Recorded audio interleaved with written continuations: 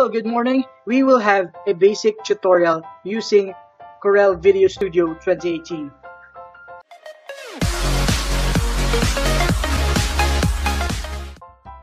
So, una ko pong ituturo sa inyo yung paggamit natin ng live screen recorder para sa mga lessons natin.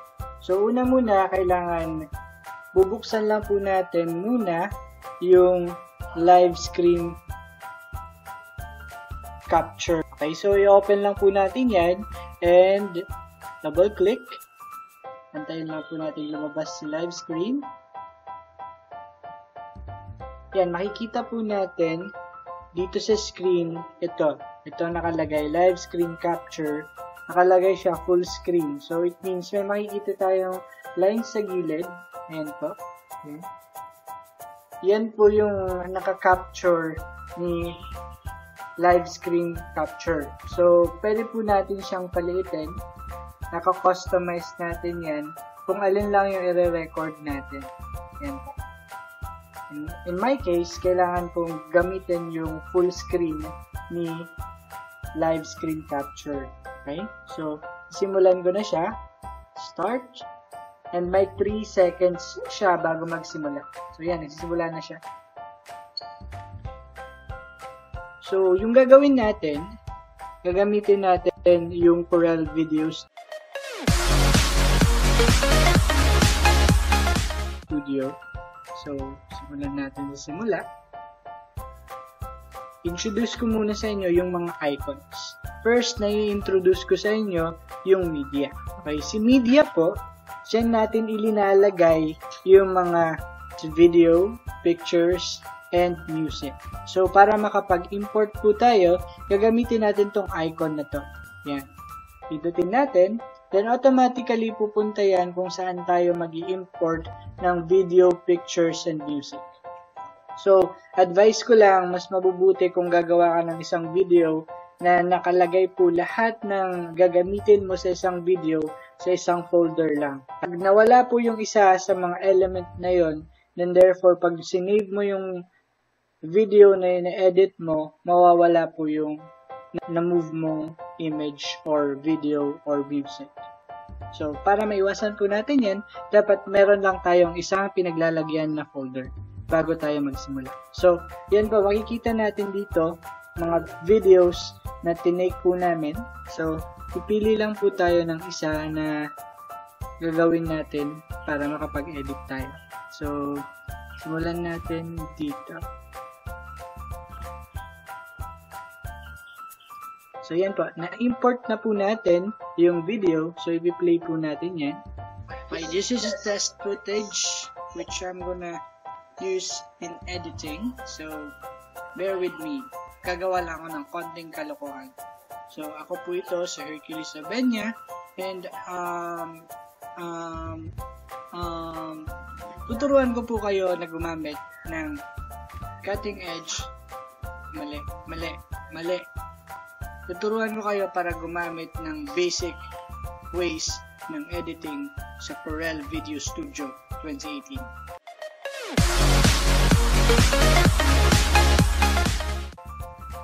So, yan po yung video na record ko para gawing example ng editing. So, i-drag lang po natin yung video papunta dito sa nakalagay na video. Okay? So, once na drag po natin yan, pwede na po natin siyang i-edit. And by the way, kung nakikita nyo yung orange na nandito, na may mga box, once na ginalaw mo po siya, namumove po yung video sa screen. Yan po. And at the same time, nare-resize po natin yan. Okay? So, make sure pag magre-resize po tayo, sa kanto lang po tayo mag-move. Kasi kung nandito, mawawarp po yung video natin. Unless gusto nyong i-warp yung video niya. Okay? So, i-right-click ko po siya. Tapos, default size. Balik po yan sa dati. Okay?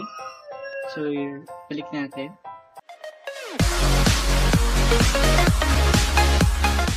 nakita nyo sa video ko na may mga errors.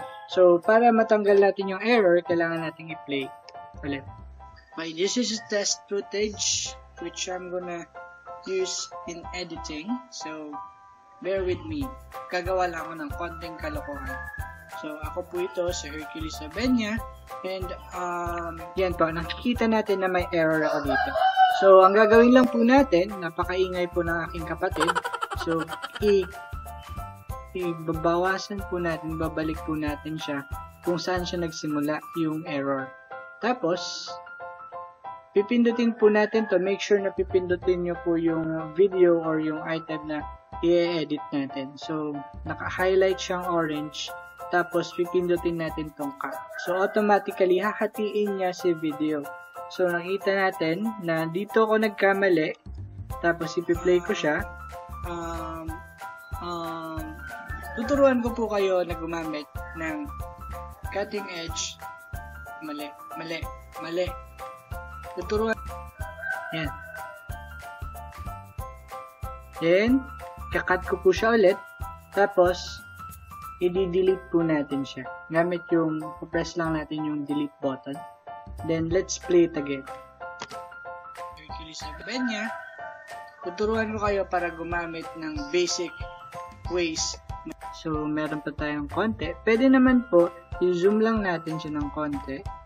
Control, tapos yung scroll, gagamitin natin. Tapos, pwede mo siyang buwasan ng konti.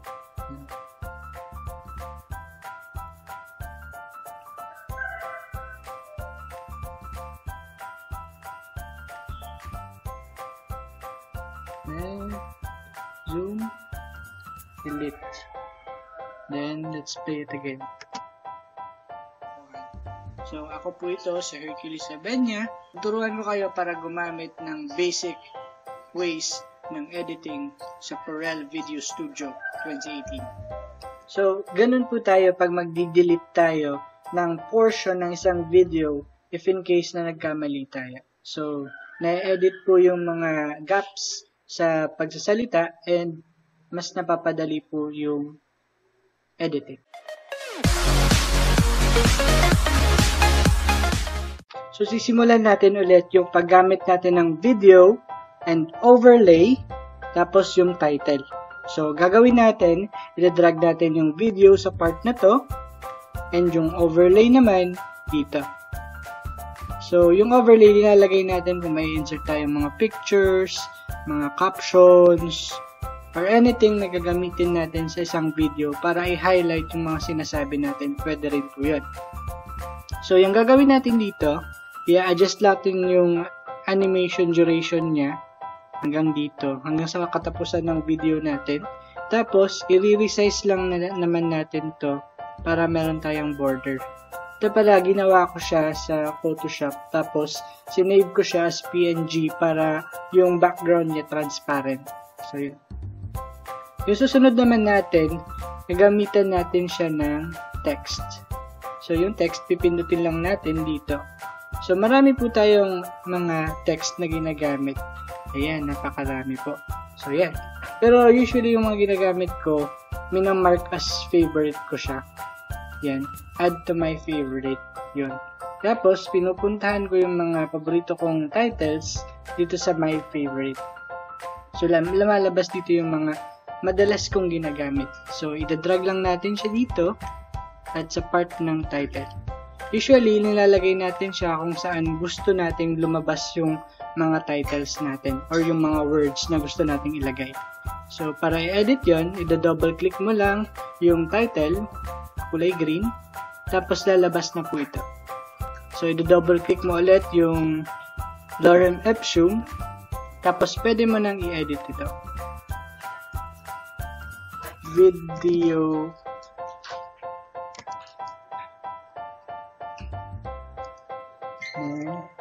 tutorial. Yun. T and V. Yun. Tapos, pwede mo siyang i-move dito. And pwede mo din po siyang i-resize yung kulay yellow na square, i-drag mo lang siya. And automatically, papalakihin niya yung word. Okay? Tapos, try natin i-play. Hello, good morning. We will have a basic tutorial using Corel Video Studio 2018. So, ang gagawin natin, i-adjust natin to.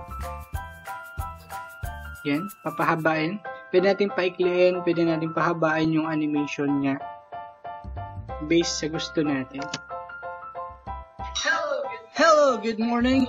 We will have a basic tutorial So, dito using na sinabi yung basic, tapos i-adjust natin siya papunta dito. So, play natin. tutorial using Corel Video Studio 2018. Yan. So, pwede din natin lagyan ng music.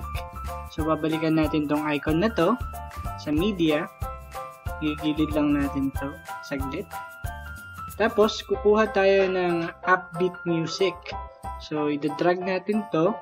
Make sure, kung mag edit kayo ng multiple layers, pipindutin natin tong icon na to.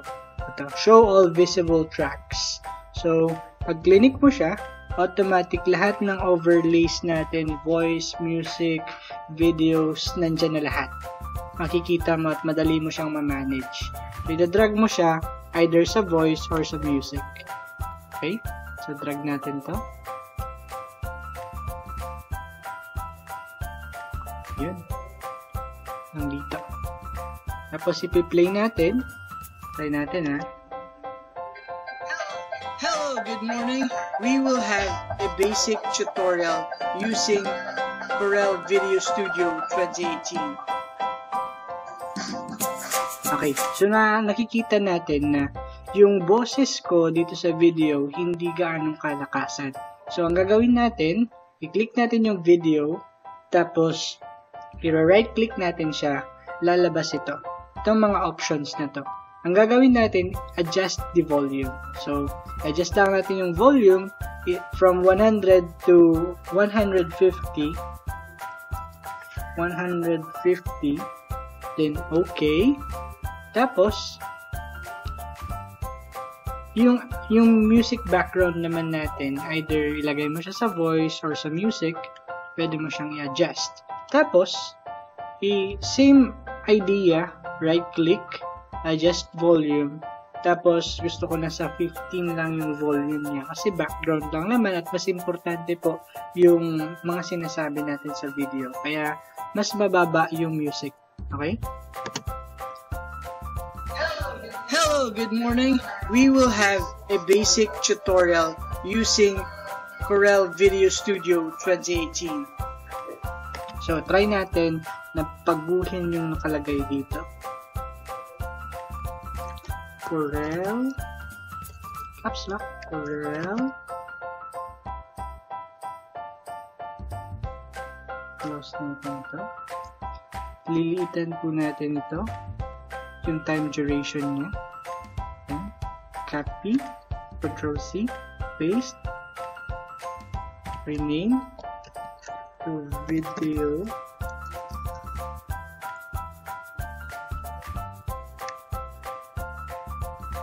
Ba yung sinabi ko?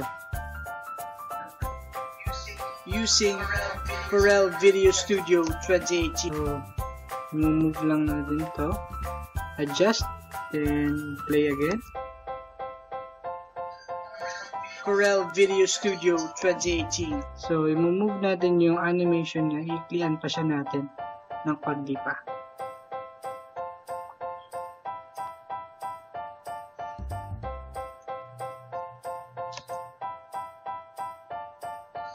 Corel Video Studio 2018.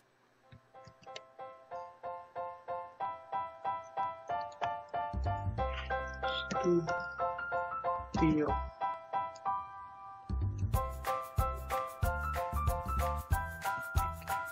Twenty eighty. Adjust lang natin.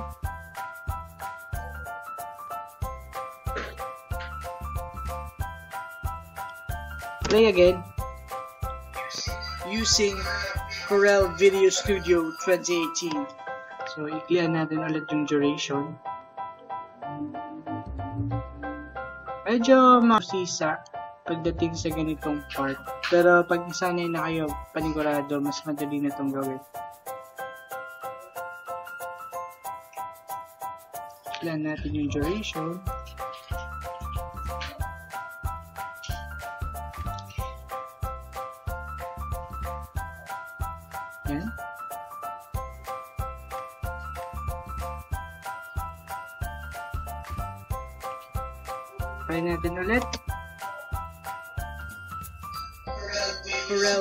Studio Yun, 2018. sumakto na. So, adjust lang natin ito ng konti itong picture clip nito. Yan. Sobrahan. Click again. And that's how we do it. May picture na tayo, may title, and may music. So, ganun lang po siya kadali. Pero kung maglalagay tayo ng another effects sa video natin, i-click lang po natin yung FX na nakalagay dito as filter. So, yan. Meron tayong maraming filters. So, yan. Pipili po tayo dito. For example, itong detail enhancer. So, ida-drag lang po natin yan sa video and automatically, i-adjust na yung video ko. Ayan, kita nyo yung filter niya. Parang nag-adjust yung graphics. Hello, good morning. We will have a basic tutorial using Corel Video Studio 2018. Nahalata nyo, nung nilagay ko yung detail enhancer, yung effects na yon parang bumagal yung video natin. Hindi siya talaga totally bumagal. Bumagal lang siya dun sa editing kasi rinirender pa ni Corel yung video natin. So, once na renender na siya natin as another video as a product, doon gaganda na panigurado yung output natin. So, tingnan natin to. So, kung okay na sa atin yon pwede na nating pindutin yung share. Sa share, doon na natin ipoproduce or i-render yung video natin para mas maging maayos siya at the same time video talaga siya na pwedeng ma-play sa VLC sa kahit anong media platforms. So, pipindutin ko lang yung start. And by the way, may AVI, AVI, MPEG, AVLC, at MPEG-4. So, sa MPEG-4 tayo gagamit para mas mababa siya sa lahat ng file format ng video pero quality pa din yung ano na. Yung properties na MPEG-4 is 1920 by 1080 pixels. High definition na po yun. So, lalagay lang po natin sa file name na sample. Then, let's press start. Antayin lang po natin hanggang sa matapos.